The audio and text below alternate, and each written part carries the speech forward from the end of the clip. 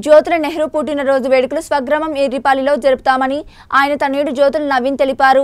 గత కొంతకాలంగా తీవ్ర అనారోగ్యంతో బాధపడుతూ పూర్ణ ఆరోగ్యంతో తిరిగి వచ్చిన ఆయనకు ప్రతి ఒక్కరూ ఘనంగా విషెస్ తెలియచేయాలని జ్యోతుల నవీన్ పిలుపునిచ్చారు.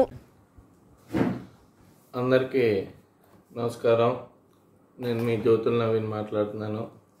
ఏదైతే మనం అందరూ కూడా మన అందరి అభిమాన నాయకులు మన ఆరాధ్య దైవమైనటువంటి జ్యోతుల నెహ్రూ గారి పుట్టినరోజు జరపాలి అని ఒక నిర్ణయం తీసుకుని అందరూ కూడా ఒక నిర్ణయం మీద ఆ కార్యక్రమాన్ని చేపట్టడం జరిగింది.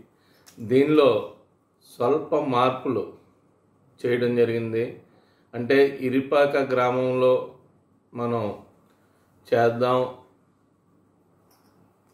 అని అనుకున్నాం. పద్దెనిమిదో తారీఖు సోమవారం రోజునే.